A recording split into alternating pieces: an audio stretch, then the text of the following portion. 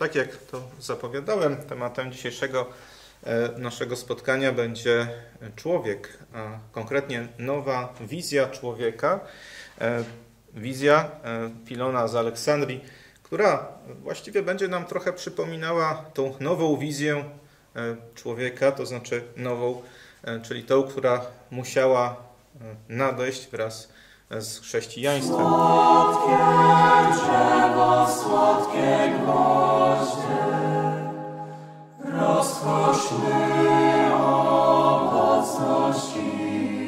e, Bo e, chociaż Filon, e, dobrze wiemy, że nie był w stanie opracować, nie był w stanie stworzyć E, wizji człowieka, domyślamy się, e, nie był w stanie e, wytworzyć wizji całkowicie z chrześcijaństwem zgodnej, skoro nie miał do dyspozycji Nowego Testamentu, ale jednak przecież bazował na Starym Testamencie i tym samym wiele tych elementów doktryny katolickiej jednocześnie było dla niego zupełnie dostępnych. A przede wszystkim kwestia stworzenia człowieka przez Boga. Jeśli chodzi o Filona, to przypominam, że to jest ta książeczka w języku polskim najbardziej e, adekwatna. Ona mówi o logosie i e, o stworzeniu i e, właściwie przede wszystkim temu zagadnieniu jest faktycznie poświęcona, ale przy okazji mówi również oczywiście o człowieku. Więc jeśli chodzi o Filona, najczęściej kiedy mówi się o człowieku, to zauważa się, że niego jest pewna taka dość wiadomo, to jest konsekwencja tego, że e, jeśli chodzi o filozofię, bazuje on na różnych systemach filozoficznych, że przyjmuje z jednej strony dużo z filozofii Platona, z drugiej strony dużo z filozofii stoickiej, z filozofii Arystotelesa i tym samym wizja, którą dysponuje jest trudna do jakiegoś zespolenia, jest trudna do jakiegoś takiego jednoznacznego zinterpretowania. Tutaj mamy do czynienia z różnymi trudnościami, subtelnościami. Będziemy, doty będziemy dotykać dzisiaj jednego takiego dość zasadniczego właśnie takiego przykładu. E, I, ale ponadto jeszcze, jeszcze są pewne trudności wynikające z interpretacji alegorycznej Pisma Świętego. Wiemy, że Samo w sobie było to wielkim e, osiągnięciem Filona, które zostało przejęte przez ojców Kościoła w dużej mierze. Jakby na podobieństwo jego alegorycznej interpretacji ojcowie Kościoła zaczęli interpretować Pismo Święte, oczywiście nie tylko Starego Testamentu, ale też i wkrótce Nowego Testamentu. Natomiast jeśli chodzi o stworzenie człowieka, to w Starym Testamencie na samym początku Księgi Rodzaju e, znajdziemy dwa opisy stworzenia człowieka e, i o ile dla współczesnej katolickiej, nie mówię modernistycznej, tylko tej prawdziwej katolickiej interpretacji, no nie staje się to powodem e, wprowadzenia jakichś komplikacji. Po prostu rozumiemy, że to są dwa różne aspekty jednego wydarzenia, tak? bo mamy najpierw w pierwszym rozdziale Księgi Rodzaju opis stworzenia człowieka w ramach e, e, tego sześciodniowego procesu, tak? a z drugiej strony w drugim rozdziale Księgi Rodzaju mamy, y, mamy opis stworzenia człowieka, jakby już w kontekście e, takim bardziej szczegółowym, gdzie pojawia się Ewa, stworzona z boku Adama. E, więc e, tutaj specyfiką Filona będzie to, że on będzie traktował właśnie to, te dwa jakby różne aspekty tego samego, jak właściwie dwa różne wydarzenia. Będzie o tym pierwszym, tym pierwszym człowieku będzie pisał że ten pierwszy jest stworzony na obraz i podobieństwo Boga i pisze tutaj, i to powiedzenie jest słuszne, gdyż rzeczywiście żadna inna istota stworzona na ziemi nie jest bardziej podobna do Boga niż człowiek. Ale niech nikt nie wyobraża sobie, że to podobieństwo polega na kształtach ciała, ponieważ ani Bóg nie ma ludzkiej postaci, ani ciało ludzkie nie jest podobne do Boga. Na razie wszystko się zgadza. Możemy tutaj e, całkowicie się z Filonem e, tutaj identyfikować. Mm, pisze dalej, to podobieństwo rozciąga się tylko na umysł, nus, tak, który jest przewodnikiem jego duszy. Według jedynego, a kierującego wszechświatem logosu, jak według prawzoru, odmodelował Bóg ducha w każdym poszczególnym człowieku i jest on w pewnym stopniu Bogiem ciała, które jako boski obraz nosi go w sobie. Rolę, jaką we wszechświecie spełnia najwyższy władca, zdaje się odgrywać umysł ludzki w człowieku. Sam będąc niewidzialny, widzi wszystko i sam będąc niepoznawalny, poznaje istotę innych rzeczy. Za pomocą sztuki licznej gałęzi nauk toruje wędrowne szlaki, podróżuje po całej ziemi i morzu i bada tajemnice ukryte w jednym i drugim żywiole. Następnie rozwija skrzydła, wzbija się w górę nad ziemię, obserwuje zjawiska atmosferyczne, zlatuje coraz wyżej i wyżej. Wiedziony pragnieniem i umiłowaniem mądrości wznosi się ponad całą rzeczywistość dostrzeganą zmysłami stamtąd dąży do poznania świata czysto umysłowego. E, tutaj widzimy właściwie po prostu umysł e, przede wszystkim, znaczy obraz przede wszystkim umysłu, e, który jest porównany do, do Boga, jest porównany do, do tego czynnika kierującego. Pamiętamy może z wcześniejszego spotkania, że Filon przedstawił dwa dowody na istnienie Boga. Jeden z nich wiązał się właśnie z tym, z tą analogią, z tym podobieństwem, że tak jest umysł w człowieku wobec jakby całości, jak, jak, jak Bóg wobec świata. Czy Bóg wobec świata jest właściwie tak, jak, jak umysł, którego nie widać, ta rozumna dusza wobec całości. Jakby w tym opisie przede wszystkim pobrzmiewa nam ta rozumna natura. To kojarzy się oczywiście z logosem, e, zupełnie słusznie. E, natomiast e, tutaj problem polega na tym, że w tym drugim opisie pisze w ten sposób. Chodzi o ten z drugiego rozdziału Księgi Rodzaju. Następnie Mojżesz powiedział: Utworzył Bóg człowieka, wziąwszy proch ziemi i tchnął w oblicze jego dech życia Wskazuje to przez to wyraźnie, jak wielka zachodzi różnica pomiędzy tym człowiekiem, który teraz został uformowany, a tamtym, który został stworzony wcześniej na podobieństwo Boga. To jest mowa o tym opisie z pierwszego rozdziału, który przed chwilą przeczytałem. Uformowany teraz człowiek był dostrzegalny zmysłami, miał określone właściwości, składał się z duszy i ciała, był mężczyzną albo kobietą, a z natury śmiertelny. Tamten natomiast, stworzony na obraz Boga, jest ideą, rodzajem albo pieczęcią, jest istotą umysłową, niematerialną, nie jest mężczyzną ani kobietą, jest nieśmiertelny z natury. Mojżesz powiedział jednak, że stworzony człowiek jednostkowy i spostrzegalny zmysłami jest w swej istocie złożony z ziemskiej substancji i boskiego tchnienia. Ciało powstało w ten sposób, że artysta Wziął brełę ziemi i uformował z niej postać człowieka. Dusza natomiast nie pochodzi z żadnej rzeczy stworzonej, ale do Ojca i Władcy Wszechświata. Czyli widzimy tutaj, że w tym drugim opisie e, nagle pojawia się opis stworzenia człowieka już jako istoty faktycznie zmysłowo poznawalnej, istoty faktycznie cielesnej. E, w tym pierwszym natomiast opisie tak naprawdę mamy do czynienia z stworzeniem jakby człowieka jako pewnej, pewnej idei, jako pewnej, e, pewnej istniejącej w logosie, e, pewnej takiej idealnej konstrukcji, e, która nie jest wcale cielesna, właśnie nie jest szczegółowa, jest ogólna, nie ma, nie ma płci, nie ma tej całej specyfiki jednostkowej. Więc możemy tutaj wyróżniać jakby człowieka ziemskiego, człowieka niebieskiego, tak zresztą, tak właśnie zresztą Filon będzie określał. E, więc mamy taki paradygmat idealnego człowieka tak? i mamy tego człowieka realnego. Widzimy, że mamy tutaj do czynienia z rozróżnieniem, które jest dla, e, jakby specyficzne dla myśli e, Filona. Dla nas jest już zupełnie jakieś, jakieś takie no, nie, nietypowe, nie, nie, nie, nie, jakby nie, niepotrzebne zupełnie. Natomiast przy okazji też widać coś innego, bo zobaczmy, że Filon tutaj wielką atencją darzy E, rozum ludzki, e, który e, jakby staje się czymś właśnie jakby nie tyle do ludzkiej natury przynależnym, ale okazuje się być pewnego rodzaju Bożym darem. Bo tutaj właśnie jakby tkwią korzenie czegoś, co, co jest dla Filona specyficzne i co powoduje, że zaczynamy mieć do czynienia z nieco inną koncepcją człowieka, bo do tej pory w greckiej filozofii, przynajmniej jeśli chodzi właśnie o filozofię tych największych filozofów, Sokratesa, Platona, Arystotelesa, e, mieliśmy dość mocne skojarzenie, to jest bardzo mocne u Platona, skojarzenie rozumności z nieśmiertelnością. Tak? U Platona nieśmiertelność jest po prostu konsekwencją tego, że człowiek jest w stanie poznawać idee. Idee są niezmienne, są wieczne i skoro umysł jest w stanie poznawać ideę, to w takim razie musi być też czymś, czymś właśnie nieśmiertelnym.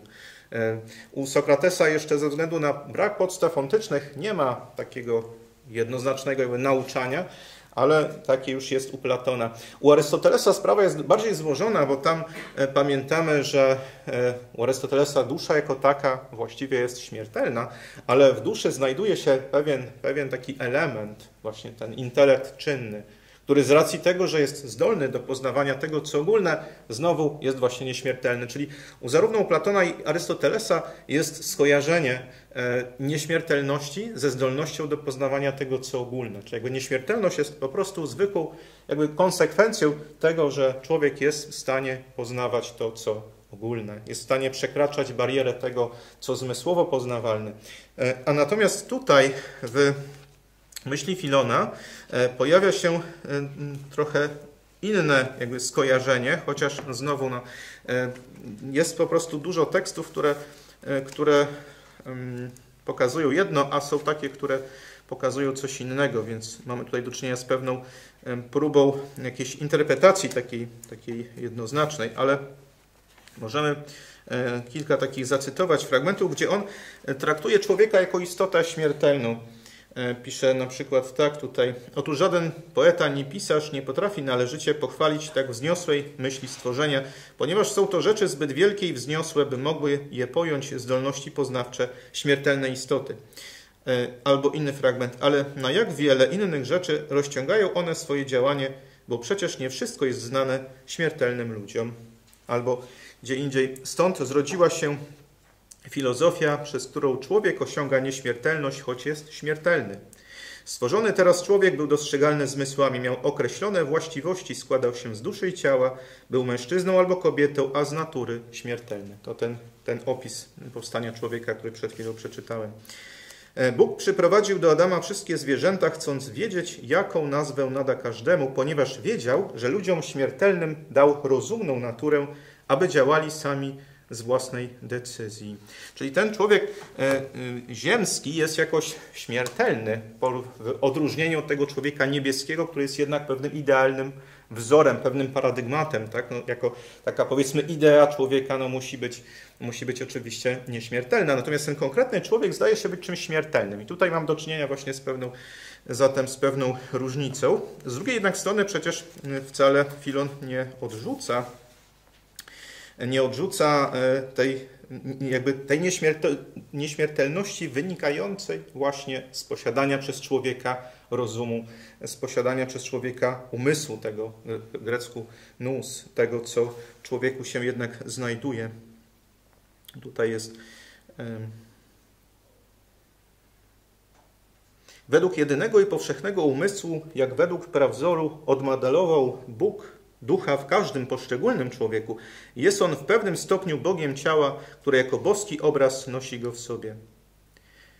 Tak więc y, z jednej strony mamy do czynienia tutaj z rozumieniem człowieka jako istoty e, takiej powiedzmy jakoś zasadniczo śmiertelnej, z drugiej jednak strony z drugiej strony jednak człowiek e, ma w sobie coś z nieśmiertelności. Jest jakby na pograniczu tego, co śmiertelne i tego, co nieśmiertelne. E, I jakby różnica tutaj pomiędzy Filonem a filozofią właśnie powiedzmy Platona polega na tym, że o ile tam nieśmiertelność jest po prostu taką prostą konsekwencją e, samej zdolności do poznawania tego, co ogólne, tak tutaj zdaje się, że ta nieśmiertelność Oczywiście ona jest jakoś człowiekowi dana, ale jest bardziej jakby takim Bożym darem. Jest bardziej Bożym darem, bo ten rozum, który tutaj jakby dochodzi, że tak powiem, tak, do, do, tej, do tej ludzkiej powiedzmy natury, e, jest, e, jest e, on, on nadaje tą nieśmiertelność, ale on bardziej, bardziej jest jakoś ujmowany jako, jako, jako taki Boży dar. I tak zresztą, i tak zresztą też w seminarium duchownym, kiedy, się, kiedy byłem uczony,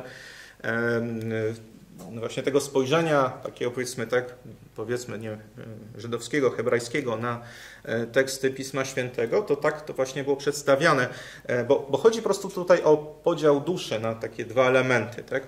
E, po, grecku, czy po, po hebrajsku dusza nefesz, ale jest jeszcze ten ruach, jest jakiś duch. I tu podobnie to właściwie wygląda u Filona, bo jest e, e, słowo psyche greckie, które oznacza duszę i chodzi o duszę tak trochę w rozumieniu Arystotelesa, tak? a więc jako taką, która jest właściwą człowiekowi, zwierzętom, która jest właśnie śmiertelna, zniszczalna, ale ponadto jest jeszcze ten nus, umysł, albo inaczej e, jest e, to właśnie pneuma, czyli, czyli właśnie duch, to, czyli coś, co, co zapewnia nieśmiertelność. U Filona się pojawia rozróżnienie jakby duszy na dwa elementy, przy czym e, nieśmiertelny jest tylko ten ten jakby wyższy element, no to można powiedzieć jest podobnie jak u Arystotelesa, tyle tylko, że ten element jest jakoś dany od Boga. I w pewnym sensie można powiedzieć, że no ale przecież u Arystotelesa było podobnie, bo Arystoteles pisze, że dokładnie tak samo można powiedzieć, bo pisze, że, że intelekt czynny też jest czymś, co ma jakąś boską naturę, co jakoś przychodzi z zewnątrz, tylko że tam to była pewnego rodzaju spekulacja, coś, co e, jakby wykraczało poza możliwość zbadania przez Arystotelesa, natomiast u Filona ze względu na oparcie się na tekście Pisma Świętego, Starego Testamentu, ze względu na wiarę w Boga Starego Testamentu, jest jakby mocno położony akcent właśnie na tym punkcie, że to, co jest człowieku nieśmiertelne, jest jakby bezpośrednio Bożym darem, więc człowiek jest bardziej jakby na pograniczu tego, co śmiertelne, nieśmiertelne. Jest to, jest to bardzo mocno wyakcentowane, taka E, właściwie zależność tej nieśmiertelności od Boga. Tak? Trochę się tym, z tym oczywiście wiąże e, aspekt zbawczy. Tak? To znaczy, chodzi o to, że ostatecznie e, jakby to życie wieczne, które jest dla człowieka jakąś opcją, jest mu, może być mu dane przez Boga tylko, tak? To nie jest coś, co człowiek może sam posiadać. Więc jakby rozumiemy, dlaczego nastąpiło przesunięcie akcentu właśnie w ten sposób. I oczywiście e, razem z tą subtelną w sumie zmianą, ale jednak pojawia się kolejna zmiana, która już tak subtelna nie jest. E, a na czym ona polega? Otóż polega na tym, że inaczej się, inaczej się jakby traktuje to, co jest człowieku najważniejsze, bo e, zwłaszcza u Arystotelesa, jak przecież wiele on poświęcił wysiłku, żeby wskazać człowieku to, co jest właśnie największe i, i że jest to, jest to cnota mądrości. Tak? Jest to ta zdolność do ujmowania rzeczywistości e, z perspektywy tych najbardziej podstawowych zasad. Że to jest, że ta kontemplacja właśnie opierająca się, będąca aktem cnoty mądrości, kontemplacja będąca aktem umysłu jest przecież szczęściem najwyższym dla Arystotelesa. Natomiast tutaj co musi ulec zmianie? Otóż jeżeli, e, jeżeli ostatecznie człowiek jest w stanie dojść do prawdy dzięki przylgnięciu do Boga, a tak przecież musi być u Filona, który e, skoro traktuje Mojżesza jako największego filozofa, a Mojżesz dlatego był największym e, prorokiem i tym samym jakby filozofem, ponieważ, ponieważ miał dostęp do Boga taki naj, najwznioślejszy, największy, mógł tutaj na ziemi nawet zobaczyć go, e, oczywiście nie twarzą w twarz, e, zobaczyć go tylko jakoś tak przez chwilę, tak? to znaczy nie, nie, nie, jego twarz, ale jakby jego postać, co oczywiście oznacza dopuszczenie do bardzo wysokiej kontemplacji Boga, bo to jest język symboliczny. Oczywiście chodzi tutaj o dopuszczenie do tych takich największych dla człowieka tutaj na ziemi dostępnych tajemnic, no to w takim razie musi być coś ponad taką czysto ludzką mądrością, Musi być coś, e, co będzie wiązało się z przyjęciem Bożego objawienia, prawda? Z takim otwarciem się na Boże objawienie. I tutaj od razu nam się pojawiają niejako w zalążku e, cnoty, które my zwiemy cnotami teologalnymi. Wiara, nadzieja, miłość. Tak? Czyli ponad tym zestawem cnót dianoetycznych, czyli mądrością, inteligencją, wiedzą, ponad tymi cnotami intelektu E, spekulatywnego, które znamy z Arystotelesa, z jego refleksji, pojawiają się e, cnoty, które znamy, można powiedzieć, z Ewangelii, które znamy, można powiedzieć, e, dzięki świętemu Pawłowi, bo to świętemu Pawłowi przypisuje się jemu, właściwie w sensie takim ścisłym, jemu zawdzięczamy naukę o cnotach teologalnych, o wierze, nadziei, miłości. Ale co ciekawe, właśnie u Filona pojawia się pewien zalążek refleksji dotyczącej właśnie tych tych cnót. Tak? Czyli okazuje się, że na tym polega doskonałość człowieka, żeby otworzyć się na Boga i co więcej, znowu kolejna jakby zmiana w koncepcji człowieka, bo jeżeli tak, jeżeli, jeżeli chodzi o przyjęcie przyjęcie umysłem, tak? przyjęcie umysłem pewnej prawdy, która została nam przedstawiona, która została nam zaoferowana, to oczywiście e, tutaj dostrzegamy różnicę pomiędzy wiedzą a wiarą. Bo jaka jest różnica? Różnica jest taka, że wiedza opiera się na pewnej oczywistości. Prawda? To znaczy, jeżeli e, przedstawia e, nam, przedstawiają nam zmysły, przedstawia nam jakby rzeczywistość nas otaczająca przedstawia nam pewną prawdę, tak? i jakby wiąże się to z oczywistością, to my w ten sposób e, przyjmujemy po prostu intelektem bez jakiegoś specjalnego impulsu ze strony naszej woli to, co po prostu jakoś widzimy, to, czego doświadczamy, e, co jest jakoś oczywiste. Natomiast jeżeli chodzi o wiarę, to, to ten impuls jest tutaj bardzo ważny i ten impuls będzie pochodził od woli. Tak? Ta, ta druga, jakby po intelekcie władza naszej duszy, wola, odgrywa jednak w wierze rolę bardzo poważną, chociaż e, akt wiary jest aktem intelektu. To intelekt przyjmuje prawdę, ale bardzo istotny jest impuls ze strony woli. Bez tego impulsu nie jest możliwa wiara. Tak? Wobec tego e, można powiedzieć, że o ile jeszcze nie wysuwa się na pierwsze miejsce może wola, na pewno tak nie można powiedzieć, ciągle mamy do czynienia z intelektualizmem. Zresztą u świętego Tomasza będziemy też mieli do czynienia z intelektualizmem, chociaż w chrześcijaństwie będziemy u myślicieli franciszkańskich mieli do czynienia jakby z tendencją odwrotną, żeby wolę stawiać na pierwszym miejsu. E, w ogóle nowożytność jest bardzo wolontarystyczna. Nowożytność tym się różni od średniowiecza, a przede wszystkim właśnie od starożytności, że wolę będzie stawiała na pierwszym miejscu. To będzie przecież w systemie Kanta bardzo, bardzo mocne, ale to jest trochę też zmora naszych czasów współczesnych właśnie, to stawianie woli na pierwszym miejscu. Bardzo charakterystyczne dla współczesnej mentalności. E, ale e, tutaj, chociaż nie ma jakiegoś przewartościowania, postawienia woli ponad intelektem, to jednak wola jest po prostu jakoś doceniona, bo ona faktycznie jest istotna. Jeżeli e, musimy przyjąć prawdę, do której nie mamy bezpośredniego dostępu, to faktycznie akt woli jest czymś bardzo ważnym i tym samym wola jakby zyskuje na wartości, a co więcej, potem musimy e, według tych przyjętych zasad żyć. Tak? Więc wobec tego pojawia się jakby konieczność, konieczność jeszcze kolejnych, kolejnych cnót, które my zwiemy nadzieją i miłością. Zalążki tego też już znajdują się, znajduje się już to wszystko jakoś u Filona. To jest bardzo ciekawe, że, że on był tutaj konsekwentny po prostu to wszystko jakoś się zawiera. I teraz kolejna sprawa, która właśnie jest jakby dla nas jako katolików, chrześcijan zupełnie oczywista, a mianowicie, e, a mianowicie e, kwestia jakiegoś zjednoczenia z Bogiem, bo pamiętajmy, że u Filona e, mamy to samo, co zresztą będzie potem w medioplatonizmie, co będzie w neoplatonizmie, mianowicie nie wystarczy tylko poznać prawdę i jakby e, znać ją i kontemplować. E, ta prawda jest ostatecznie Bogiem i trzeba tą, tą prawdę jakoś, e, właśnie z nią się jakoś zjednoczyć. Z nią się zjednoczyć. To jest bardzo istotny aspekt religijny. U Filona to jest jakby poniekąd oczywiste, ale też i w wielu innych refleksjach filozofów należących do właśnie tego nurtu, o którym niedługo będziemy mówili, medioplatonizmie, E, tworzący w tych nurcie, e, będziemy mieli do czynienia z tym samym, czyli e, celem człowieka jest jakieś zjednoczenie się z Bogiem. I u Filona mamy dokładnie coś takiego. I ciekawe jest to, że zjednoczenie się z Bogiem w filozofii Filona odbywa się w ramach trzech etapów, trzech takich okresów.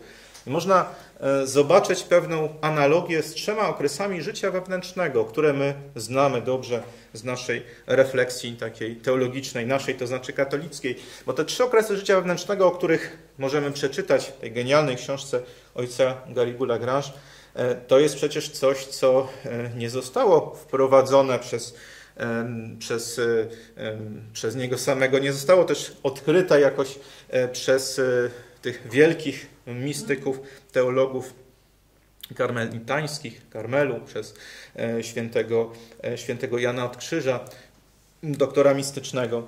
E, ale to jest coś, co pochodzi właściwie z, samej, jakby z samego źródła, z, ze starożytności chrześcijańskiej. O tym zresztą możemy przeczytać w sumie teologicznej świętego Tomasza.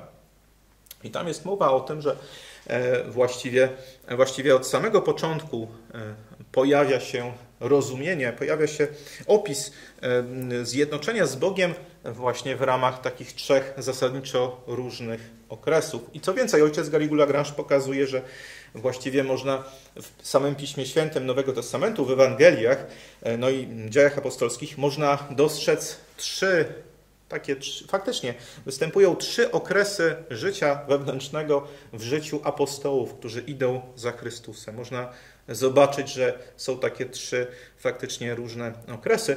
E, jak, jak można je dostrzec? No, pierwszy to jest niewątpliwie e, od samego, e, samego pójścia za Chrystusem aż do aż do bolesnej męki mistrza, ten moment jakby śmierci i, i noc związana z konaniem Chrystusa, z jego pojmaniem, z jego procesem, to jest ten pierwszy taki kryzysowy moment to jest to, co Jan od Krzyża nazywa nocą zmysłów. Potem mamy drugi okres, e, jeszcze odnośnie tego nazewnictwa, tutaj są dwa takie, e, powiedzmy, sposoby nazywania. Pierwszy okres nazywamy albo okresem e, właśnie początkujących, ale także oczyszczenia, prawda? Tutaj są dwa takie, ten pierwszy początkujących, potem postępujących i doskonałych jest bardziej pierwotny. Święty Tomasz jego używa właśnie. Natomiast ten drugi, nieco starszy, ale jakby może więcej mówiący, to jest właśnie składający się z, z okresu E, oczyszczenia, e, oświecenia i zjednoczenia jest późniejszy, ale, ale może, może bardziej taki, e, no właśnie, więcej mówiący. Więc drugi okres, okres oświecenia, czy okres ten postępujący, on ma miejsce w momencie, kiedy apostołowie są pouczani przez przez e, Chrystusa już zmartwychwstałego.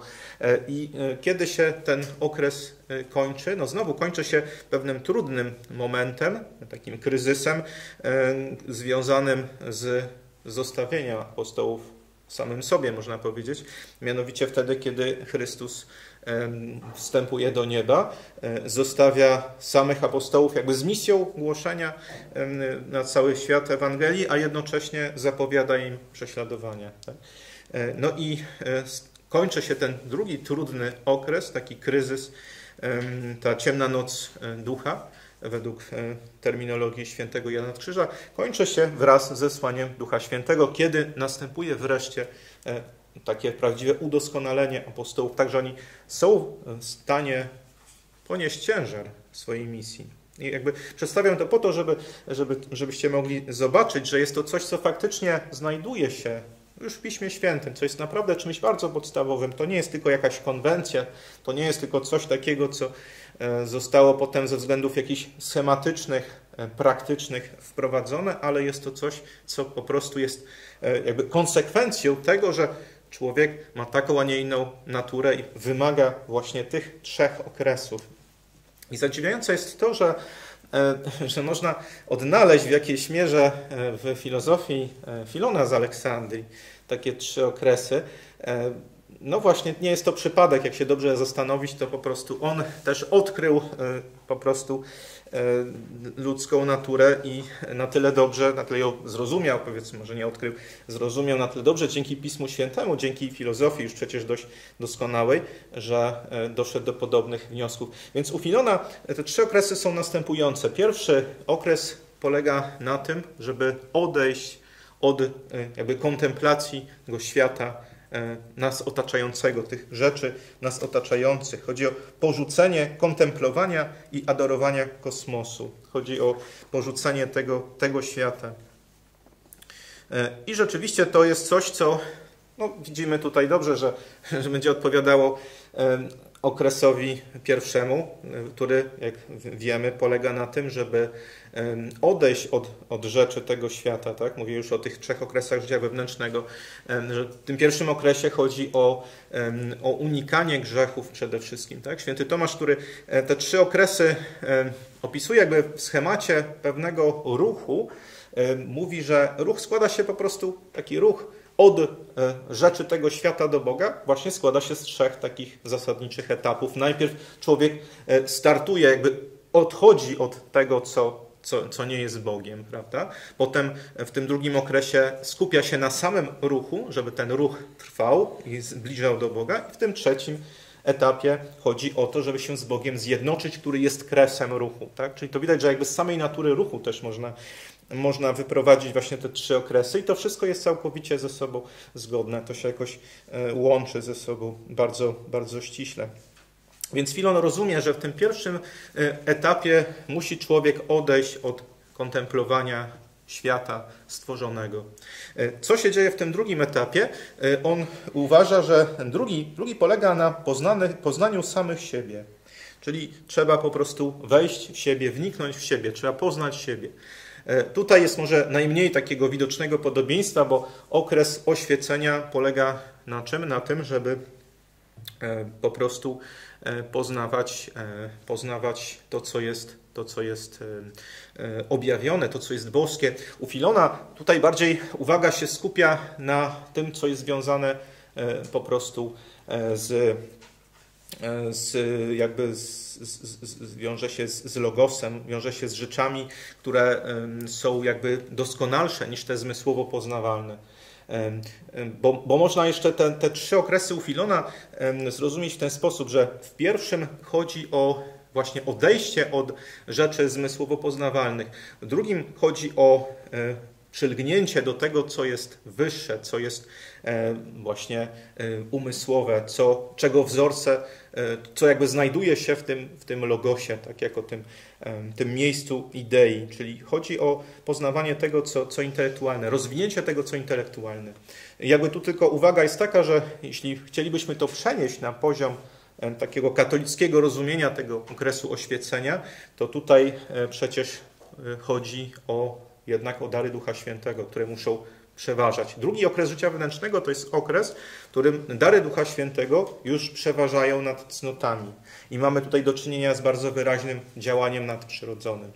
E, a więc e, tak, gdybyśmy to chcieli jakoś porównać, to, to jednak musimy to, o tym pamiętać, tak? że tutaj nie chodzi o jakieś działanie na poziomie samego umysłu, bo można być człowiekiem e, bardzo rozwiniętym umysłowo i absolutnie nie znajdować się na tym drugim okresie życia wewnętrznego. Jakby to wejście w siebie nie, nie, nie ma być wejściem na poziomie czysto naturalnym, tak jak wchodzi jakiś myśliciel, który może się skupić na, na tym, co jest wewnętrzne, co jest, co jest umysłowe, intelektualne. Mogą być wielcy myśliciele, którzy na poziomie idei całe życie właściwie, będąc matematykami, żyją, ale nigdy w żaden sposób nie znajdą się pod działaniem darów Ducha Świętego, prawda? Jest to różnica oczywista. Ale to jest oczywiście jeszcze nie koniec. Co jest, co jest później? Później jest ten trzeci etap. E, tutaj Filon nazywa to po prostu e, jakby koniecznością wyjścia poza naszą duszę, czyli jakby już przylgnięcia do samego Boga, kiedy już nie skupia się nawet na logosie ludzki umysł, e, który też jest przecież stworzony na obraz logosu, ale wychodzi ponad niego, jakby lgnąc do tego, który jest który jest Bogiem, który jest ponad tym wszystkim, który jest wielką tajemnicą, który jest e, zawsze jakoś ponad tym wszystkim, co możemy pojąć. I jeśli chodzi o okres życia wewnętrznego, ten trzeci, e, to faktycznie tutaj to, to zjednoczenie z Bogiem, e, to, to doskonalenie faktycznie będzie miało wiele wspólnego. Tutaj pisze ojciec Gary Lagrange z, z udoskonaleniem przez dary Ducha Świętego cnót wiary, nadziei, miłości e, będzie miało wiele wspólnego e, z takim jakby właśnie głębokim przeoraniem tych, tych, tych cnót. Tak? Ten trzeci, trzeci jakby okres rozpoczyna się drugim jakby wielkim kryzysem, zwanym w terminologii świętego Jana nocą ducha, a więc pojawiają się bardzo silne pokusy przeciwko wierze, nadziei, miłości. Jeśli dusza jest wielkoduszna e, i jeśli postępuje do przodu mimo trudności, mimo tych pokus, e, rzeczywiście pełni, pełni akty cnót i jeśli e, to życie wewnętrzne w niej wzrasta, wtedy zostaje dopuszczona do tego trzeciego okresu, który oczywiście też trwać może wiele lat i ma w sobie bardzo wiele różnych, jeszcze jakby głębszych, różnych tam wtajemniczeń, jakby różnych konkretnych jakichś etapów w ramach tego, co nazywamy tym trzecim okresem. Tak? Tutaj jakby rozumiemy, że tam jest jakby pewna dynamika dla nas zasadniczo niepojęta i nieznana. Sam ojciec Garrigou Lagrange, kiedy o tym pisze, to pisze jako o czymś, co jest jakoś tajemnicze. I tutaj oczywiście u Filona będzie to bardzo nieprecyzyjne, jakby on rozumie, że e, to zjednoczenie z Bogiem jest już jakby takie trochę ponadintelektualne. Tak? To jest też coś takiego, co, e, co jest e, właśnie jakoś trochę nowe, chociaż może nie do końca, bo u Platona się pojawiały takie tendencje właśnie tak wzięte z orfizmu, żeby w jakichś stanach ekstatycznych, mistycznych upatrywać tego doskonalenia człowieka, to tutaj oczywiście Filona to będzie jakoś podbudowane e, nauką Starego Testamentu, tak? przykładem Mojżesza, który poznaje coś, co jest właśnie jakby zawsze ponad. A my jako katolicy oczywiście tutaj się też zgadzamy, że tyle tylko, że pamiętamy, trzeba to zawsze pamiętać, że tutaj chodzi o zjednoczenie, które jest nadprzyrodzone. Tak? Nie dokonujemy tego własną mocą, własną siłą, nie dokonujemy tego e, po prostu naszymi własnymi wysiłkami, zawsze jest to działanie Bożej łaski. Tak? Ale można dostrzec, mimo jakichś różnic,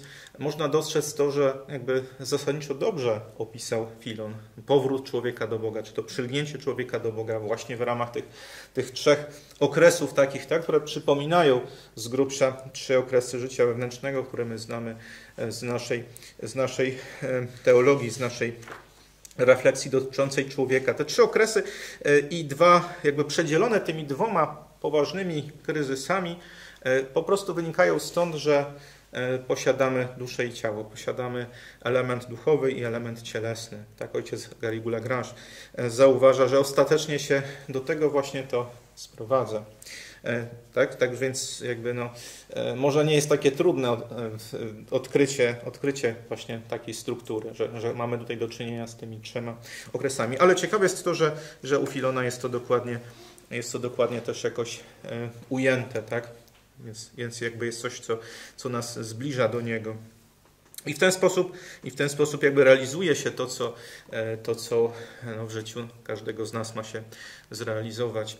I tak jakby powoli e, kończymy e, e, refleksję Filona. Ona została przedstawiona właśnie po to, żebyśmy mogli jakoś do, do nauki świętego Tomasza dojść, bo jakby tutaj zauważacie, moi drodzy, że dużo robię takich aluzji czy pewnych nawiązań do świętego Tomasza, pokazując, że w myśli świętego Tomasza, w sumie teologicznej, ta nauka się o trzech okresach znajduje. Także jakby ta refleksja tych filozofów starożytności jakoś potem znajduje swoje, e, swoje uzupełnienie, swoje też jakieś naprostowanie pewnych błędów, e, ubogacenie, tak, czy jakieś takie wyjaśnienie u świętego Tomasza, który e, jako teolog też oczywiście zajmuje się Bogiem, bo to są zagadnienia bardziej teologiczne. Tak? To wiemy już, że w tym okresie filozofii w, o którym żył Filon, filozofia i teologia się znacznie przenikały. U świętego Tomasza jest formalne rozróżnienie jednej i drugiej dziedziny, ale Tomasz jest przecież jednym i drugim. Wobec tego może o jednej dziedzinie mówić e, w sposób taki autorytatywny, jak też i o drugiej. Tak więc może w takim razie proszę jakieś pytania odnośnie tego zagadnienia. Czy u każdego świętego widać podział na te trzy okresy. Jak najbardziej. I też ojciec Garrigou Lagrange zauważa, że e, gdyby wprowadzić taką uwagę, tak, czy jakoś podzielić według tych okresów e, dzieła hagiograficzne, to one staną się wtedy dużo bardziej zrozumiałe, bo e, faktycznie może się wydawać dziwne, jak to jest, że już skądinąd święci bardzo zaawansowani, przeżywają, wydawałoby się z takiej perspektywy takiego zwykłego człowieka, takie dziwne jakieś pokusy przeciwko wierze, prawda? E, taka święta Tereska Dziesiątka Jezus, która mówi, że będę wierzyć. No to przecież to się wydaje, no to jakoś to rozum postradany, no przecież każdy normalny człowiek wierzy, no to jak ona to, nie, to dla niej takie trudne, to co to za święta? To po prostu jakieś nieporozumienie. E, ale to właśnie, to jest nieporozumienie, ale nieporozumienie polegające na tym, że nie, nie, nie, ma, nie ma się świadomości tego, że um, bo, bo, jakby, e, bo ostatecznie e, właśnie akty wiary, nadziei, miłości są czymś, w ogóle to, co jest nadprzyrodzone, przekracza nas jakby niepomiernie, nieskończenie. I w momencie, kiedy Pan Bóg chce naprawdę e, duszę jakoś rozszerzyć, pogłębić, to musi oczyścić wiarę, nadzieję, miłość, tak żeby one się nie opierały na tym, co ludzkie. Właśnie to jest jeden z motywów, dla których to pogłębienie, to oczyszczenie musi mieć miejsce i u świętych ma, bo w pewnym momencie jakby oni się przyzwyczajają do tych rzeczy nadprzyrodzonych i trochę jakby próbują sobie je tak podświadomie nawet jakoś przywłaszczać, tak jakby były one ich, jakby te prawdy wiary były czymś, co mo można niemalże rozumem dotknąć, tak jakby one były już prawie, że, prawie, że y, racjonalne takie w takim rozumieniu, że, że są dostępne jakby naszemu rozumowi, tak? One nie są sprzeczne z, z, z, nasz, z, z rozumem, który dobrze funkcjonuje, ale jednak wykraczają zawsze, prawda? I tak samo jeśli chodzi o nadzieję, tak samo chodzi o miłość, one wymagają oczyszczenia, bo człowiek traktuje, no jak, no przecież Pan Bóg jest dobry, no to przecież to jak to ja nie osiągnę nieba? To przecież, a musi to być oczyszczone i tak samo jest, jeśli chodzi o miłość. I, e, i stąd biorą się te największe takie pokusy, bo one są dużo mocniejsze, groźniejsze niż pokusy dotyczące tej części zmysłowej człowieka, y, co jest jakoś oczyszczane w tym pierwszym takim momencie, tym, znaczy tego, tego pierwszego kryzysu, prawda? czyli te, e, tego, co nazywamy tą nocą zmysłów, e, kiedy, e, kiedy zostaje jakby oczyszczony ten niższy element, właśnie ten, ten jakby związany z tą, z tą, tą, bez, jakby tą nierozumną częścią duszy, tak? tą, tą zwierzęcą jakby częścią duszy, porządliwą częścią duszy, kiedy, kiedy po prostu pokusy przypominają trochę płynięcie właśnie takim wzburzonym jeziorem Genezaret, gdzie fale zalewają łódź. Natomiast w tym drugim okresie, kiedy, czy w tym drugim kryzysie, kiedy kiedy pokusy dotyczą cnót teologalnych, to bardziej przypomina tak jakby e, ktoś chciał płynąć łódką, a tu nagle e, cała ta woda została jakby wessana przez jakiś wir i nie ma jakby po czym płynąć. Jest tylko taka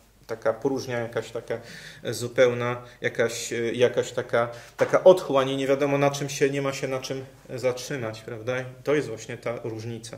Także po to, po co święci mają taki, takich prób doświadczają i można powiedzieć, że, że zawsze jest tak samo, niezależnie od tego, że czasem może oczywiście to być w jakimś krótkim okresie czasu. Tak jest na przykład u męczenników bo męczennicy mogą, jakby mogą mieć to skondensowane do krótkiego czasu, prawda? Męczennicy, e, którzy no, między powiedzmy ich złapaniem, a ich egzekucją powiedzmy upłynęło tam ileś tam kilkanaście godzin na przykład, na pewno tacy męczennicy byli czy nawet krócej, tak, e, muszą często w sposób bardzo taki e, no, szybki przebyć ten, ten, te trzy okresy. Tak? Często może już tam startują z jakiegoś tam poziomu, ale chodzi o to, że to oczyszczanie będzie u nich, zwłaszcza ten, bo raczej już y, y, będzie to dotyczyło takich, tak łaska męczeństwa będzie dawana już ludziom jakoś z Bogiem zjednoczonym, ale, ale na pewno na pewno e, wiele może Pan Bóg, działając swoją łaską, w krótkim czasie dokonać. To nie jest w ten sposób ograniczony. A u niektórych świętych to trwa przez całe życie właściwie takie powolne oczyszczanie.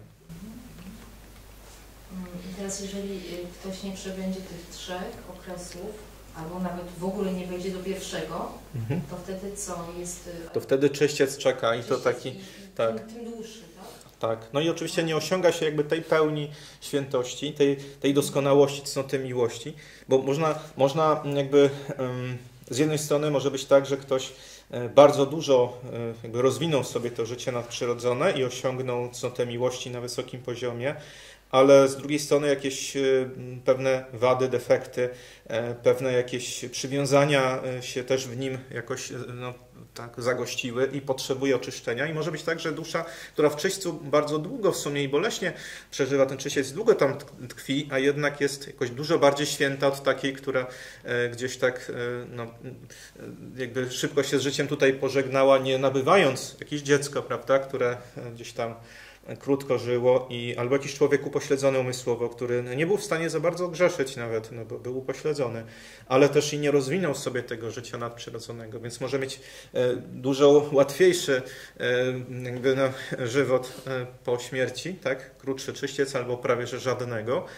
albo faktycznie żadnego, ale za to szczęście w niebie mniejsze, tak? natomiast tutaj może być dużo większe, a jednocześnie boleśniejsze. Tak?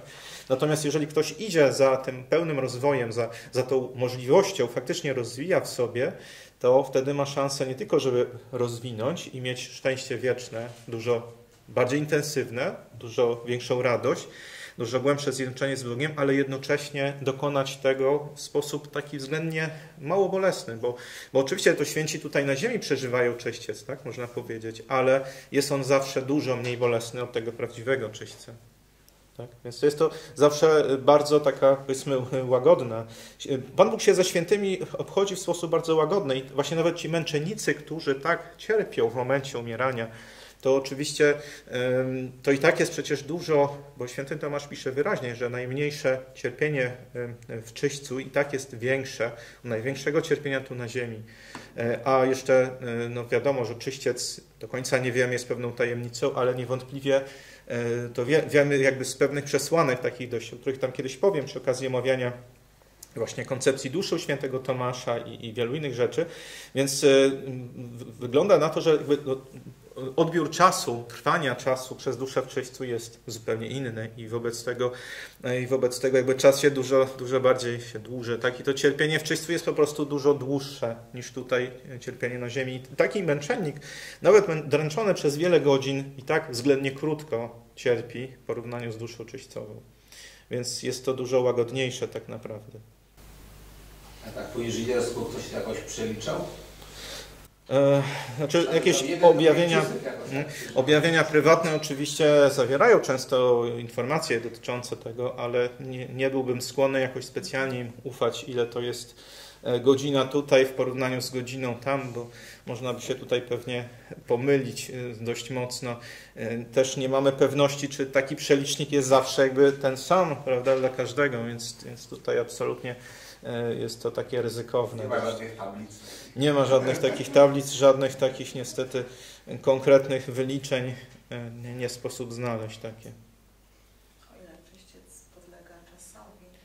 E, no jest, jest to, no właśnie, no tak, to znaczy tak, no wiadomo, że w, o, o, czasie, jak w takim sensie ścisłym, to mamy do czynienia z czasem, w sensie takim ścisłym, do czynienia zawsze wtedy, kiedy jest jakiś element cielesny. No w czyśćcu jest ogień w sumie, tak? Więc, więc jakiś tam jest element. No, od, ale dusza, która wiadomo, że w czyśćcu są przecież dusze, tak? Nie ma, nie ma ciał, prawda? Bo, bo zmartwychwstanie będzie dotyczyło potem już albo piekła, albo, albo nieba, tak? Natomiast nie czyśćca. Są tylko dusze. Dusze, które też jakby dzięki jakby pewnemu boskiemu wyrokowi mogą podlegać temu, co jest materialne. Normalnie przecież element duchowy, czysto duchowy nie może podlegać działaniu elementu materialnego, tak? Że to się dzieje wszystko na mocy pewnego Bożego zrządzenia, więc jakby tutaj musimy o tym pamiętać, że to jest jakby taka rzeczywistość wyjątkowa i z racji tego, że to nie jest takie czysto naturalne właśnie, to tutaj ciężko nam powiedzieć dokładnie, jak to, jak to wygląda wszystko, tak? Na pewno jeżeli kara jest jakaś zmysłowa, jeżeli są jakieś cierpienia zmysłowe, no to tutaj by ten element czasowy jest jakby poniekąd tak jakoś w to wliczone już, tak, jakoś wkalkulowane, ale jak to dokładnie wygląda, ciężko powiedzieć. Niewątpliwie e, dusza, która jest pozbawiona e, jakby właśnie ciała, po prostu wychodzi z ciała, tak, ona jakby zupełnie tak jakby dokładniej, precyzyjniej dużo dogłębniej odbiera rzeczywistość ją otaczającą, ponieważ nie jest jakby przytępiona w koniecznością troski takiej o ciało, bo nasze dusze cały czas muszą te wszystkie procesy na poziomie takim nawet jakimś atomowym, subatomowym, no i na poziomie jakim biologicznym, jakieś tam działanie enzymów i tak dalej, jakiś podział komórek, to wszystko dusza tak naprawdę wszystko robi.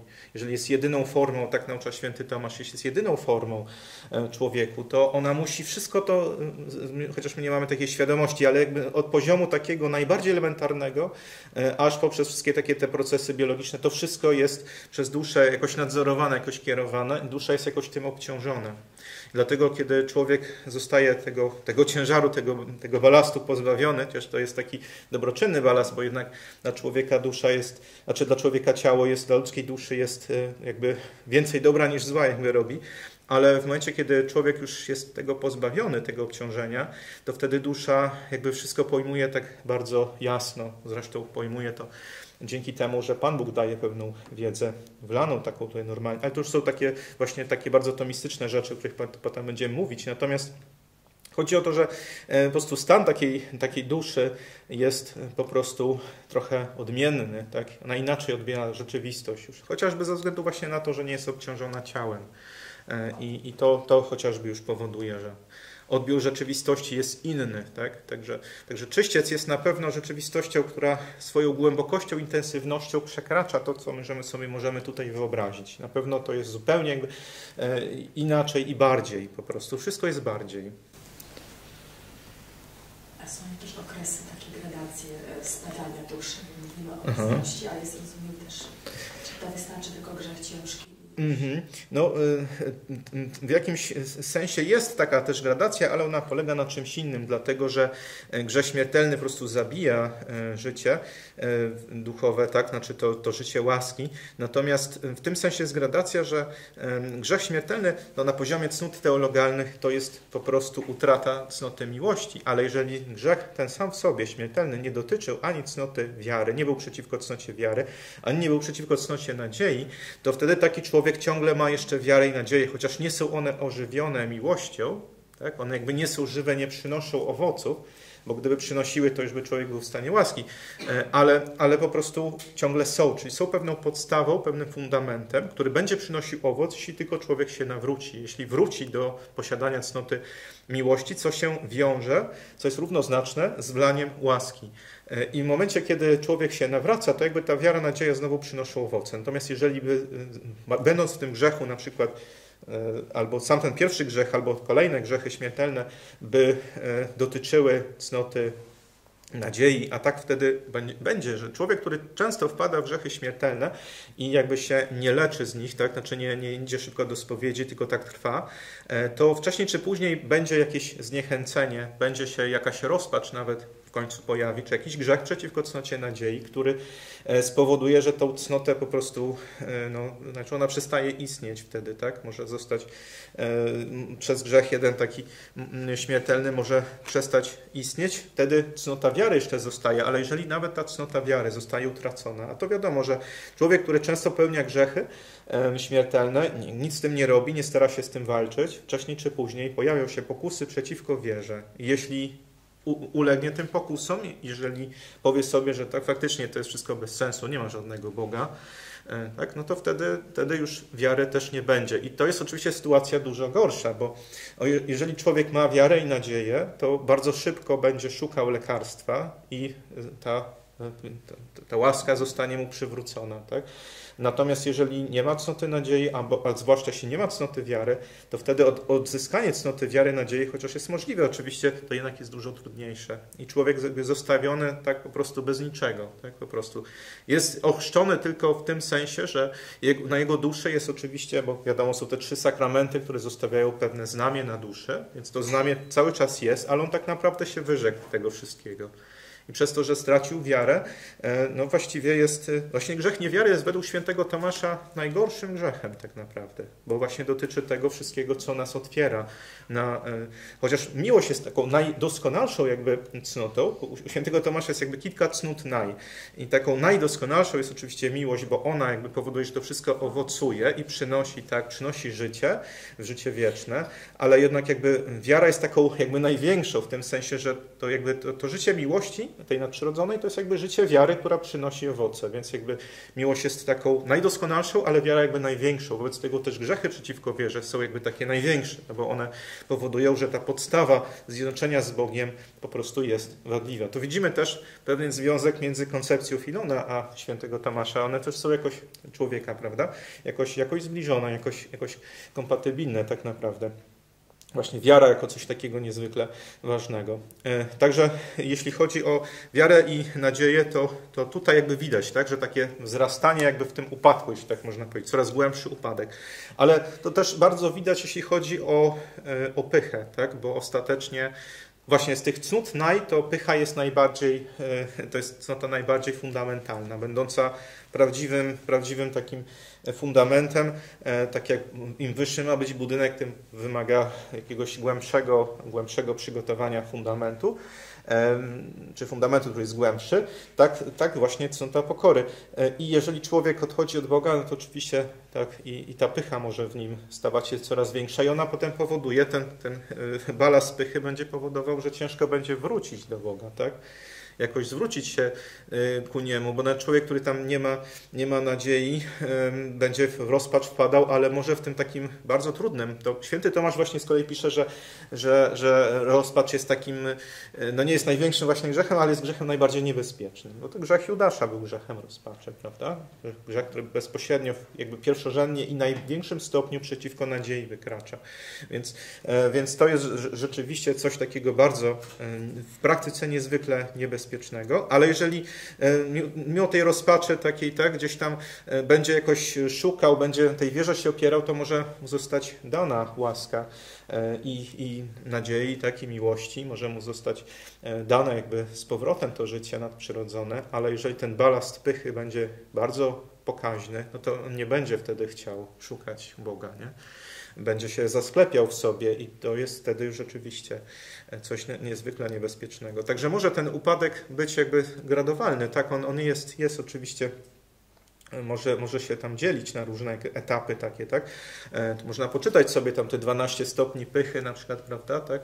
Świętego Bernarda bodajże, tak? Można jest tak, bardzo interesujący jest ten opis, to nawet u trzech okresach życia wewnętrznego tam gdzieś się to znajduje, zdaje się, tam to gdzieś widziałem.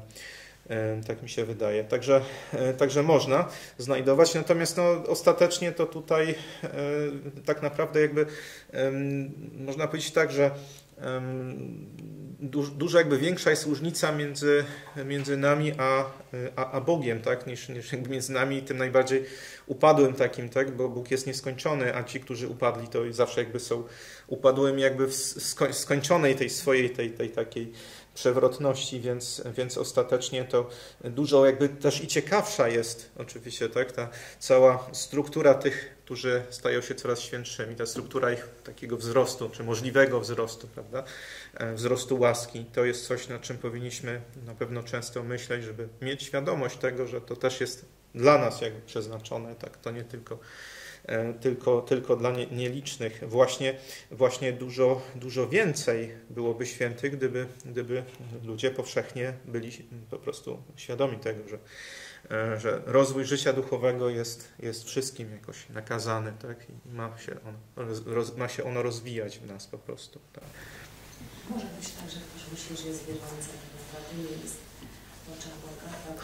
Może być. Dużo wiedzieć, można praktykować mhm. przez bardzo gorliwy, albo odwrotnie, ktoś może być, wydawać się, że mówi, że jest ateistą, ale tak naprawdę ma mhm. Znaczy to pierwsze to na pewno, to drugie to trudno powiedzieć. Na pewno jakieś pokusy przeciwko wierze może mieć, ale jeżeli ktoś tak faktycznie no, żyje jak ateista, myśli, że jest ateistą, to raczej raczej tutaj e, raczej już wtedy będzie, tak? Natomiast można, ciężko byłoby, o, o, te święci, święci oczywiście, którzy, którzy przeżywali pokusy przeciwko wierze, e, ale to jest jaka, to, to, tak, oni, oni na pewno, oni by paradoksalnie jakby mogli siebie trochę uważać za takich, ale to jest jednak oślepienie wynikające z przebywania w, jakby w blasku bardzo silnym, tak? Jakby e, dusza mistyka jakby myli się co do siebie, dlatego, że tak blisko jest źródła światła, że nie widzi dobrze paradoksalnie, tak? To tak jak ten człowiek, który z jaskini Platona wychodzi, bo można jakby w tej też interpretacji e, opowiadać jakby e, to wyjście z jaskini. To jest tak trochę jest, że człowiek, który dochodzi do intensywnego światła, przez długi czas nie może po prostu niczego zobaczyć paradoksalnie, prawda? I tak jest właśnie z duszami mistyków, ale jednak ta różnica jest zasadnicza, bo, bo człowiek po prostu pełni e, mnóstwo aktów różnych cnót i jakby widać, że to jest jednak wierzący, natomiast taki, który żyje jak poganin, no to raczej faktycznie nimi jest wtedy. Jeśli mówi, że jest niewierzący, to można mu uwierzyć, że jest niewierzący. Tak?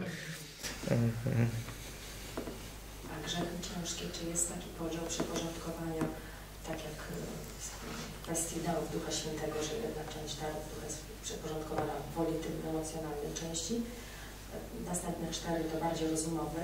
Czy taki jest podział również co do grzechów ciężkich, że jednak osoby takie bardziej może rozumowe, są bardziej narażeni na tą pychę, co jest tak naprawdę dużo gorszym mhm. grzechem niż na przykład kogoś no tam Mhm. Może nawet cieleśnie. No jasne. Znaczy, bo pycha, y, tylko tyle, że y, pycha ma dwa wymiary, bo jest pycha taka intelektualna i pycha wolitywna, bo pycha jest grzechem duchowym, więc y, tutaj jakby no tylko dwa są odmiany. Bo ogólnie grzechy mają faktycznie trzy takie, jakby trzy kategorie. Są grzechy z ignorancji, są grzechy złości, czy ignorancji, które wynikają jakby ze słabości intelektu, tak?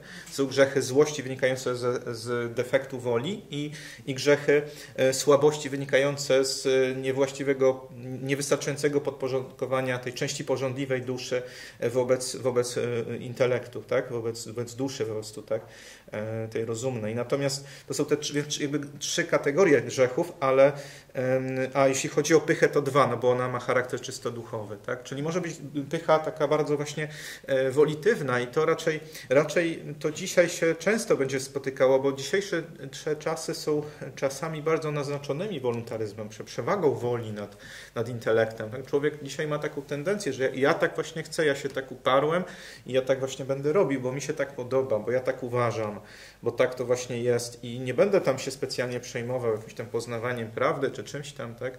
E, tylko, tylko moja wola jest tutaj najważniejsza i to dla dzisiejszego człowieka jest zawsze wielkie niebezpieczeństwo i, e, i jakby tego się tak specjalnie jakoś nie, e, nie uwydatnia, tak? tego niebezpieczeństwa właśnie wynikającego z jakiegoś postawienia woli, to takiej woli źle, źle jakby tak źle jakoś uformowanej woli ponad intelektem, bo ona wtedy jest rzeczywiście, to jest taki człowiek, który trochę jest taki, taki ślepy, po prostu tak idzie jakby w takim kierunku, jak mu się tam spodoba nie bardzo widzi, gdzie idzie, tak? Jest to niebezpieczne bardzo.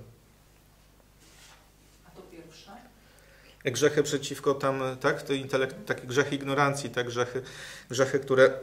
No właśnie, ta ignorancja może oczywiście być niezawiniona, ale może być zawiniona i wtedy jest grzechem, tak? Może być niezawiniona, kiedy ktoś nie ma szans czegoś się dowiedzieć. Tak, mimo podejmowanych wysiłków, trudu, tutaj wiadomo, że to ostatecznie w niektórych sytuacjach trudnych ciężko jest powiedzieć, na ile coś jest zawinioną ignorancją, a na ile nie jest. Ale to mogą być bardzo ciężkie grzechy. No właśnie grzechy przełożonych synagogi, którzy nie chcieli, właśnie nie wiedzieć, jak pisze święty Tomasz, że jeżeli nawet czegoś nie wiedzieli o Chrystusie, to mogli się tego dowiedzieć. Jeśli nie wiedzieli, to dlatego, że nie chcieli właśnie, tak? Że zamykali oczy. To też jest oczywiście jedna z takich odmian grzechu przeciwko Duchowi Świętemu, jedna z takich bardziej, e, powiedzmy, takich czytelnych, oczywistych, tak? Najczęściej wspomnianych, kiedy człowiek nie chce poznać prawdy od Boga takiej danej, prawda? E, nadprzyrodzonej, kiedy zamyka oczy na nią. To jest wtedy bardzo niebezpieczne. Czy faryzeusze nie można im zarzucić, że nie mieli no nie wiem, mogę użyć tego słowa intelektu, w sensie wiary. Oni mieli wiedzę, ale nie mieli pragnienia, prawda, prawdy. Mhm. Czyli jednak mieli defekt w sferze woli, uważam, bo pragnienie, znaczy nie uważam, tylko tak wynika z mhm. tabeli świętego Tomasza, mhm. pragnienie jest przeporządkowane do woli. Mhm. Czyli jednak y, ten grzech Pan Bóg najbardziej ganił, bo oni nie chcieli, oni nie mieli pragnienia, ale wiedzę mieli, tak? Tak, no to tak, tak, tylko że jak to, to faktycznie tak jest, tylko tyle, że to jakby pociąga za sobą ten grzechy ignorancji, bo jeżeli jest ta, ta złość właśnie, tak, bo to na pewno u nich były grzechy złości, ale jeżeli one są, tak, jeżeli ta wola nie chce się podporządkować Bogu, to wtedy też nie chce, nie chce poznawać prawdy, czy jest zawiniona jakaś niewiedza właśnie, prawda? Bo mogli na przykład wiele rzeczy o Chrystusie poznać, co by diametralnie zmieniło sposób oceniania działań Chrystusa ale, ale już tego nie chcieli poznać, więc to się jakby wiąże. Bo wola, intelekt się wzajemnie jakoś tak e, po prostu wpływają na siebie, więc jak, najczęściej tak jest, że jak jest jeden, to zaraz drugi będzie, nie? To nie ma tak, że to jest, może być jakimś najistotniejszym jakimś tam powodem ostatecznie czegoś potępienia, ale najczęściej jest tak, że jedno zaraz e, pociąga drugie ze sobą. No tak, ale jakby złość i zawiść, którą mieli faryzeusze mhm. raczej sprowadzam, może się mylę, do kwestii emocjonalnych nie do mhm. kwestii poznawczych, jakichś błędów poznawczych mhm. czy braków poznawczych, tylko kwestii emocji, tak? Czyli jakby tu by się zgadzało, że Duch Święty nie spocznie na osobie pełnej zawiści i złości. Mhm. Znaczy, bo tam te... Zawiść i złość to jest Tak, tak, to, to, to jak najbardziej. Tak, znaczy to zasadniczo to wszystko jest jakby w człowieku całością, więc oczywiście grzechy złości, e, one będą często właśnie powodowały te grzechy e, słabości, znaczy w tym sensie, że, że, że będą potem tak rozbudzą jakąś właśnie gniewliwość, tak? Złość może w sensie już taka ta brak dobrej woli może tak rozbudzić e, takie instynkty, że one już potem same idą i same jakby się tam napędzają. To oczywiście tak, no to jak najbardziej. To wszystko ze sobą jest jakoś powiązane. Natomiast no musi, musi jednak ta teologia rozróżniać te rodzaje grzechów, nie? bo jeden, jeden jakby konkretny jest zawsze jakiś taki czy inny, ale w praktyce to ze sobą jest wszystko jakoś powiązane. E, dlatego no, w przypadku takich wielkich grzeszników, takich, którzy no, źle skończyli, tak, no to tam można różne rzeczy u nich wskazać, i takie, i, i inne. cytat e, Bóg uczynił zatwardziałymi ich serca, prawda? To tak wiąże jakoś i... Że opatrzność pozwoliła oczywiście, tak, że Bóg nie, nie, nie, nie no tak. Pozwala Bóg dalej, mhm. zamyka tak umysł. Znaczy, bo faktycznie jest tak, to święty Tomasz też pisze, że, e, że karą, i to taką zupełnie sprawiedliwą karą e, za to, że się nadużyło łaski, jest zmniejszenie strumienia łaski w przyszłości, prawda? Ale te łaski jednak, mimo tego, że są rzadsze, czy jakieś mniejsze, to jednak one zawsze są, czyli to, bo inaczej Bóg nie byłby dobrym, czyli jakby zawsze jest możliwość powrotu, tylko tyle, że jest to trudniejsze po prostu, tak? I to już jest sprawiedliwe, że to jest trudniejsze. Natomiast, natomiast jakby Bóg nie byłby dobry, gdyby tego nie, nie było, tak jakby już potem nie było możliwości nawrócenia się. Znaczy, to taka troszkę ważna pułapka jest może, bo jak u świętego Jana mhm. przeczytałam, że Duch Święty jest przyporządkowany uczuciom, dosłownie jest napisane, e, e, poznanie Syn Boży i moc, pamięć Bóg Ojciec. Więc może najpierw trzeba zacząć od tej sfery mimo wszystko emocjonalnej, w sensie może uporządkowania tej, tej, tej złości, którą może ktoś mieć nawet e, gdzieś tam wepchniętą, bo po mhm. prostu Duch Święty nie spocznie na, takiej, na takim sercu. Nawet jeśli ktoś ma wiedzę, a jeśli ktoś ma na przykład wiedzę dużą, mhm. a wynika ona tak naprawdę ze złości, być może, to, to jest mhm. jeszcze gorsze niż to w ogóle jest straszne. Czy to, takie... to, to, to, nie można przeskoczyć tego, tego skutka. Mi się wydaje, że w Kościele ten temat jakiś trochę, znaczy ta przestrzeń w ogóle jest jakby ignorowana, że mówi się, że emocje nie, nie są grzechem, ale one, one są tą barierą, to, to, no ja opieram się o świętego Jana, tak?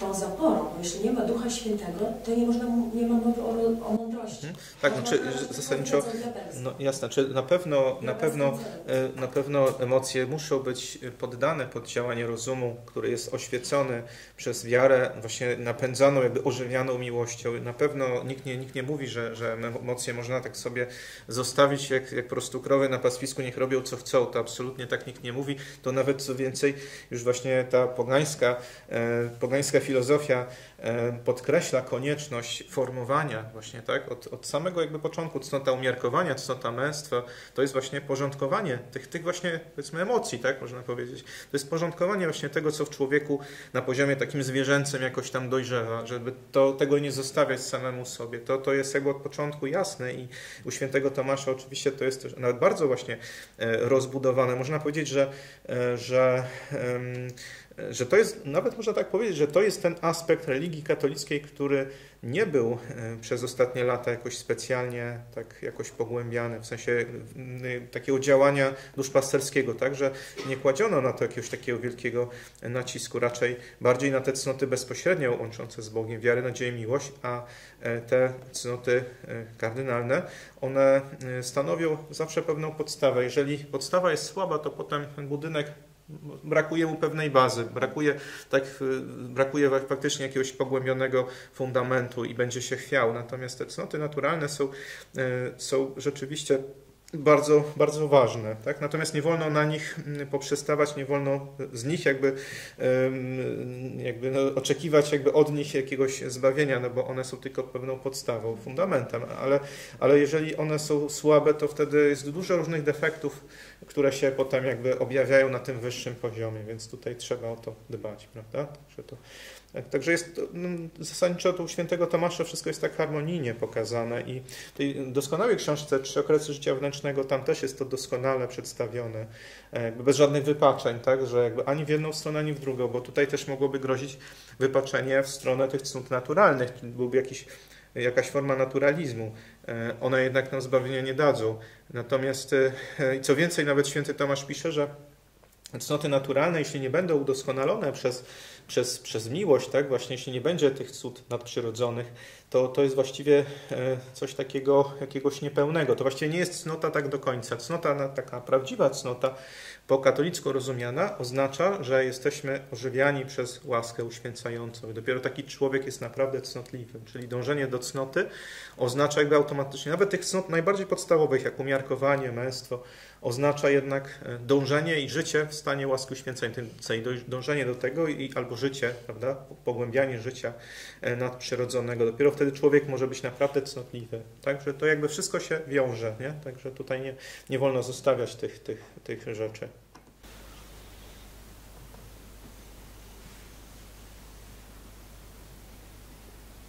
A kiedy jest właśnie ta emocja, e, już jest, jest grzechem, bo na przykład no, myślę, że jednak faryzeuszy zgubiła ta emocja złości, bo najpierw musiała być złość, mhm. a zawiść wpierw nie wiem, co, co, co, co, generuje. Pewnie zawiść, myślę, generuje złość albo, albo mhm. różnie. Natomiast y, w jakimś momencie ta emocja no. przeradza się w grzech. Czyli to już ta złość nie jest tylko złością, prawda, taką, która nawet obiektywnie ma prawo wystąpić. Ona się zamienia w stan złości. Mhm. Tak? I to jest ten punkt i można na tym stanie złości wiele rzeczy zrobić. Można być nawet super teologiem, który robi szkołę, -hmm. tak? bo, -hmm. bo nie robi to z pragnienia, tylko robi to z rządzy. -hmm. Nawet nieuświadomiony. Tak, znaczy to tutaj, jeżeli to jest właśnie jakaś zawiść, to już nie jest e, tylko e, jakiś defekt e, związany z brakiem cnoty męstwa, tylko tutaj już jest wtedy brak, brak czegoś więcej. To jest właśnie kwestia już woli, prawda? Także to już, to już nie jest tylko na poziomie emocji, tak? to już jest właśnie grzech złości, to wtedy już jest coś, coś większego niż tylko. Już jest też, to na, na poziomie cnót kardynalnych też będzie w dziedzinie, to będą defekty cnoty sprawiedliwości. Właśnie niesprawiedliwość, prawda? To, to będzie, będzie coś takiego. Także już nawet nie tylko na poziomie miłości nadprzyrodzonej jakiś brak, ale to w dziedzinie cnoty sprawiedliwości będzie widoczne, że ktoś jest po prostu właśnie no zły, tak? Złośliwy, tak? W tym sensie zły.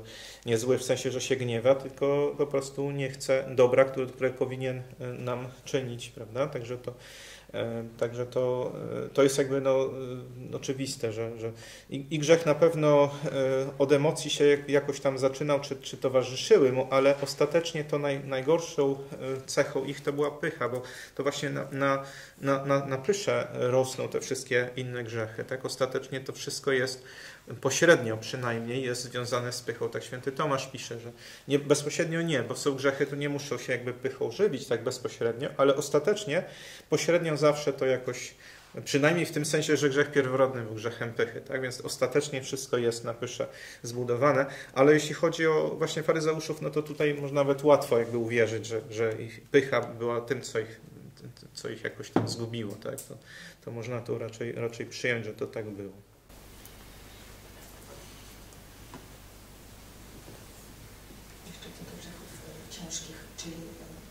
na przykład ktoś zgrzeszy w sferze miłości, tak, przestrzeni, to ono może uratować jeszcze nadzieję, nadzieję i wiarę, tak? Mogą łatwo skłonić po prostu do tego, no, że, do że się, tak, do powrotu, tak. Czy jak ktoś, czy można mówić, że ktoś ma wiarę i, i nadzieję bez miłości? Mo można, tylko one wtedy nie są po prostu jakby ożywione, jakby czegoś im brakuje. Są takie, takie jakby nieuformowane, takie nieożywione, takie jakby nie są takie pełne, ale jednak jakieś są. To znaczy bez nich byłoby dużo gorzej właśnie. Na, na tym właśnie polega problem, jeśli już nie ma ani wiary, ani nadziei, to powrót jest wtedy bardzo trudny.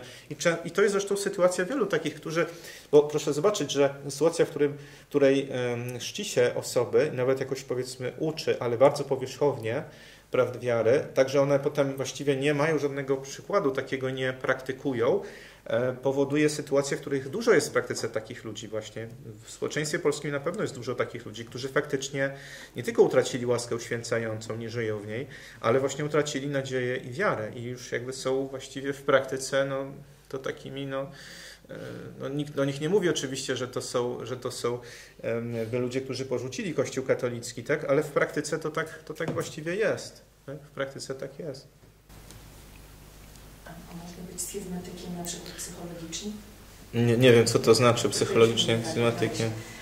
Znaczy- Bo mhm. zachowuje te wszystkie formy i tak dalej, ale psychicznie od, y, odrodził się od kościoła, tak? Tylko Mhm. w jakimś tam odcinku i to też jest dosyć niebezpieczne, bo Mhm. mimo, że tam może jakoś nie wyznaje tak oficjalnie, to Mhm. jednak psychicznie jest Mhm. jakiś tam tylko prawda, Mhm. tego kościoła, Tak. tak? No, być, być może, znaczy da, no rozumiem o co mniej więcej chodzi, że, że jest jakiś, jakaś taka tendencja. No na przykład, tak, ale to no, to dużo jest takich, tak, znaczy no to dużo jest takich, że, że coś się tam w dziedzinie psychiki szykuje, ale jeszcze w dziedzinie jakby woli czy intelektu jeszcze, jeszcze jakby nie zostały skażone te władze wyższe, tak, duchowe, ale na poziomie takim już tym cielesno, takim psychicznym już tam są pewne defekty, tak, ono jakby to dojrzewa do tego, żeby coś było więcej, tak, no to tak, no to jak najbardziej, to w każdym obszarze można wskazać coś takiego, tak. Słodkie drzewo, słodkie gwoździe, rozkoszny owocności